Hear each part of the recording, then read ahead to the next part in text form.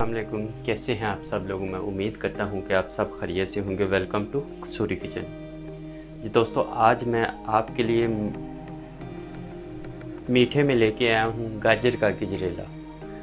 तो ये बहुत ही मज़ेदार टेस्टी ज़बरदस्त जो है वो मीठी डिश है। तो इसकी रेसिपी जो है वो आज मैं आप लोगों तक शेयर करने वाला हूँ। तो चलते हैं, इसको बनाना स्टार्ट करते हैं। जी, ये देखें, मैंने बर्तन को चूल्हे के ऊपर रख लिया है। चूल्हे को मैं ऑन करता हूँ। इस और इसके अंदर जो है, मैंने मिल्क पैक लिया है। आप देख सकते हैं हलीब वालों का। तो ये मैं इसके अंदर चार किलो मैंने लिया है, वो ऐड करता हूँ बिस्मिल्लाह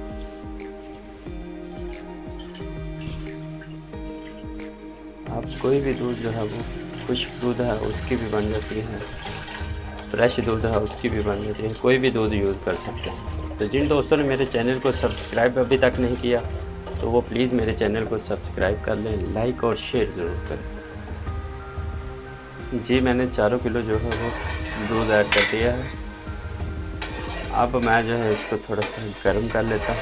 उसके बाद इसके अंदर गाजरे और चावल जो हैं वो ऐड कर।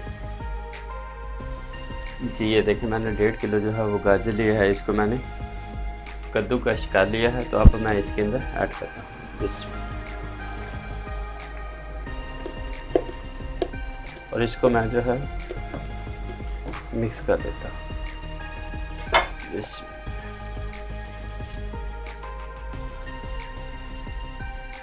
जी ये देखें ये जो है ना मैंने एक पाव जो है एक कप के करीब जो है चावल लिया है वो मैं ऐड करता हूँ। इसमें क्या हाल है? जी इसके अंदर अभी मैं जो है ना ये देखें अल टेबल स्पून जो है वो मैं इलायची पाउडर जो है वो ऐड कर रहा हूँ क्योंकि कुछ लोग साबुत इलायची जो है उसको पसंद नहीं करते। इस और इसको मैं मिक्स कर इससे क्या है, इसका जो है ना खुशबू बहुत प्यारी आती है। दूध हमारा गर्म होना शुरू हो गया है। मैं इसको पकड़ता हूँ। जी, ये देखें। बॉयल जो है वो अच्छे से आना शुरू हो गए हैं। अब मैं इसको मज़ीद जो है वो पाँच से सात मिनट पकाता हूँ। आप इसमें चमचा जो है वो चलाते रहें। इससे क्या है कि ये नीचे नहीं लगेगा। अगर आप छोड़ देंगे तो ये नीचे बहुत जल्दी लगता है। तो आप देख सकते हैं मैं मज़ीद जो है वो पाँच से सात मिनट इसको पकाता हूँ।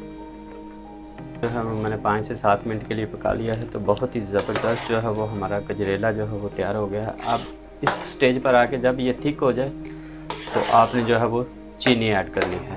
आपको मैं इसके अंदर जो है वो चीनी ऐड करूँगा और आपने ख्याल रखना है कि चीनी ऐड करके चम्मच को जो आपने छोड़ना नहीं है, इसको हला, चलाते रहना है। उससे क्या होगा कि नीचे नहीं लगेगा। ये देखिए, मैंने डेढ़ पाव जो है वो चीनी ली है, वो मैं इसके अंदर ऐड करता हूँ इसमें। जी, ये देखें जी, अब मैं इसको मिक्स कर लेता हूँ। चीनी मैंने ऐड कर दी है।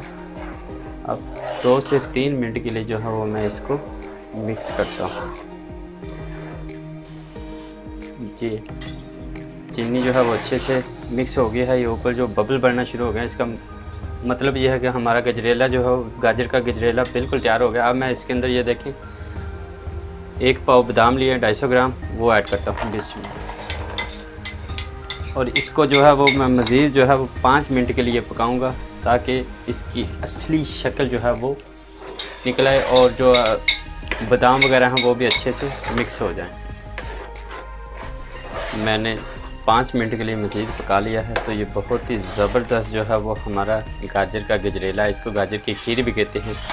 तैयार हो गया है। मैंने इसके अंदर खाली चीनी ऐड की है। मैंने कंडेंस मिल्क जो है वो ऐड नहीं किया। कुछ लोग जो है वो वो यूज़ करते हैं।